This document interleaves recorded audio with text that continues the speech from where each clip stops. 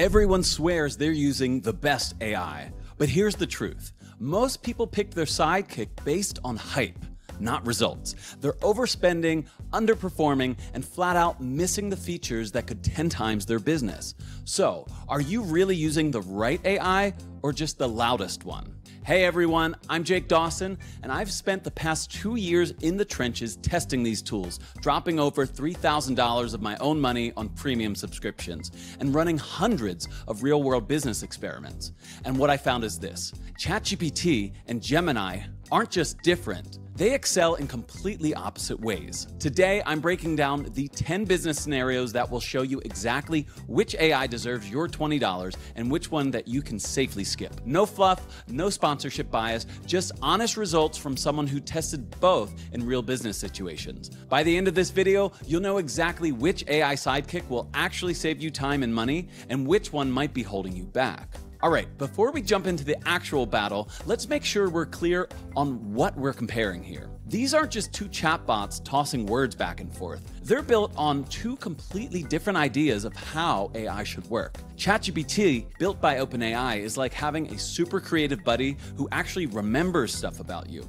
It feels conversational, almost human, and it gets better the more that you use it. You tell it your writing style, your project, your preferences, and over time, it's like it knows you. That memory feature makes it feel less like software and more like a partner that grows with you. Now, Gemini, on the other hand, is Google's version of AI, and it's more like having the smartest research assistant on speed dial. It's plugged directly into Google's world, so it's all about integration and pulling in the freshest information. While ChatGPT is trying to be your creative sidekick, Gemini is trying to be your ultimate search tool that fits into everything you already use from Google. Both of them cost around 20 20 bucks a month for their premium plans, uh, ChatGPT Plus and Gemini Advanced. But the way that $20 plays out is totally different depending on how you work. Here's where most AI comparisons get it totally wrong. Everyone's out here asking these tools to write a poem or spit out the capital of France.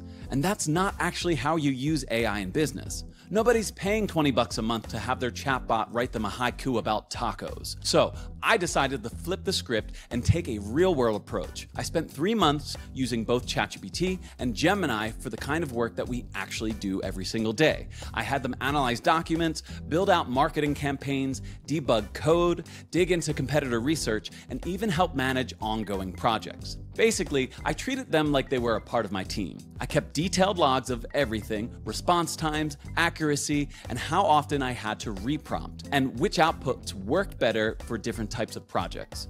For example, in email marketing, ChatGPT kept giving me punchy subject lines and casual copy that felt human, while Gemini leaned more structured and data driven, perfect for professional audiences. I also ran them through customer service tests. I dropped in the same support tickets and had each draft responses. ChatGPT nailed the tone friendly, helpful, conversational. Gemini, on the other hand, pulled up the right docs fast and built responses that solved multiple parts of the problem at once. And here's the big thing most reviewers don't even look at workflow integration. It's not just about which AI gives the prettier answer, it's about which one actually fits into your work without slowing you down or creating more steps. Let me give you a real world example. I tested both AIs on a client project where I needed a full content marketing strategy for a SaaS startup. We're talking market research, competitor analysis, content creation, the whole package. So with ChatGPT, I fed it the client brief and my usual strategy framework and thanks to memory, it remembered my past projects and built on that right away. It suggested blog ideas in my style, social hooks in my brand voice, and even recalled that this client liked data driven posts over fluffy motivation. Gemini came at it from the opposite angle. It pulled in live competitor data, checked what they were publishing on Google, and even flagged trending keywords that were on the rise. It built out competitor profiles in real time, while ChatGPT leaned more on patterns from its training. The end result? ChatGPT delivered a strategy that felt more personalized and brand consistent, and Gemini delivered one that was more current and data backed. Both were valuable, but for totally different reasons. Another piece I measured that nobody talks about is context retention. When you're working on something big that stretches across multiple sessions, how well does the AI remember the details? Can it pick up where you left off, or does it feel like starting from scratch every time? That's where you start to see some pretty major differences between these two. And finally, I ran them through different integration tests. If you're already living in Google Workspace, or maybe you're deep into Slack or Microsoft Office. Which one plugs in smoother? The answers here might not be what you'd expect. And here's the real test. I asked Gemini to prep me for a client meeting. It checked my calendar, pulled the shared Google Drive folder, summarized the recent email threads, and even created a new agenda doc with the right permissions, all in about 30 seconds. To do the same thing with ChatGPT, I'd need to manually copy information from multiple sources, upload files separately, and then ask it to synthesize everything. The end result might be just as good, but it takes five times longer. Bottom line is this I didn't just toss them random questions and call it a review. I put these AIs to work in real business situations for months. What I found will change the way that you look at AI tools completely. Let's start with content creation, because that's the bread and butter for most people watching. In my tests, ChatGPT crushed it when it came to creative writing, social media posts, and storytelling. It naturally adds emojis, writes hooks that pop, and just has that conversational tone that connects with people. Gemini, on the other hand, leans more into structured and professional. It's great if you're writing formal business documents or something that needs a polished corporate voice. So, the winner here really depends on your brand voice. Do you want casual and fun or buttoned up and professional? Now, here's where it gets really interesting. I tested them both on the same blog post brief for a cybersecurity company. ChatGPT wrote something that sounded like it came from a human expert with personal anecdotes and conversational transitions. And Gemini wrote something that read like it was researched by a PhD and fact checked by about three lawyers. Both were good, but for different audiences and purposes. Now, coding. From my experience, ChatGPT takes the win here. It gave me cleaner code, better UI suggestions, and explained things in plain English instead of drowning me in jargon. Debugging felt way smoother too. But Here's what's interesting Gemini has a monster of a context window, which means it can handle way larger code bases than ChatGPT. So, if you're working on something massive, Gemini might have the edge. But for most small to medium projects, ChatGPT feels easier to work with. I put this to the test with a React app that I was building. ChatGPT walked me through it piece by piece, building components, explaining as it went, and spotting bugs right from the error messages. It even suggested cleaner ways to structure the code so it's easier to maintain. Gemini felt more academic. It scanned my entire codebase at once, something ChatGPT couldn't do, and it flagged architecture issues I'd overlooked. It spotted redundant functions and security gaps, and performance bottlenecks that ChatGPT also missed because it was zoomed in on individual components. Research is where Gemini takes over. It's directly connected to Google search means it's pulling in the freshest info available. I'd ask for the news that broke earlier that day, and Gemini had it ready. ChatGPT,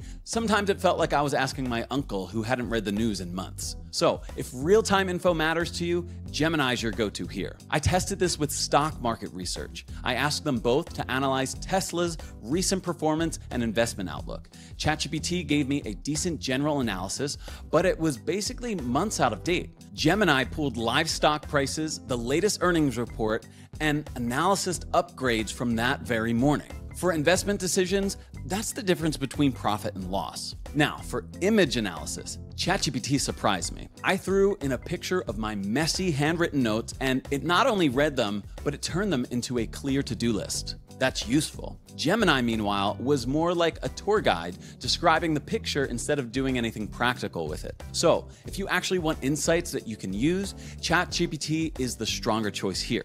I tested this extensively with business documents. I uploaded photos of whiteboard sessions for client meetings. ChatGPT read my messy handwriting, got the context, and turned those whiteboard scribbles into clean project plans with timelines and deliverables. It even suggested which tasks to prioritize based based on the urgency marks I'd written. But here's where Gemini shines with images, that is. I uploaded screenshots of my Google Analytics dashboard, and Gemini could immediately spot trends, calculate growth rates, and even suggest which metrics to focus on. It picked up on data patterns ChatGPT sometimes just glossed over. Now, let's talk memory. This is where ChatGPT really stands out. It remembers your preferences, your projects, even your style. It's like that barista who knows your coffee order before you even say it. While Gemini maintains context well within conversation and through its Google Workspace integration, it doesn't have the same persistent cross session memory that ChatGPT offers. That personalization is huge if you want AI that grows with you. On the workflow side, this one's simple. If you're living in the Google Workspace, Gmail, Drive, Docs, Sheets, Gemini is going to feel like home. The integration is seamless. ChatGPT does have broader third party integrations, but you'll need to put some more time in to set up that. So, the choice here really comes down to which ecosystem you're already in. Video generation is getting interesting with OpenAI's Sora and Google's Veo 3. When available, Veo 3 produces the cinematic, smooth looking shots that feel polished. Sora, on the other hand, nails the realism in details, like if you want something that looks like a real life clip. But sometimes the full scene feels a little bit off. So think of it like this Hollywood versus indie film. Both are impressive just different vibes. I tested both with product demo concepts for the same SaaS tool. Veo 3 looked like a polished tech keynote, smooth transitions, pro lighting, super clean. Sora's version felt more authentic, like someone was actually using the software, but it had little quirks in the UI.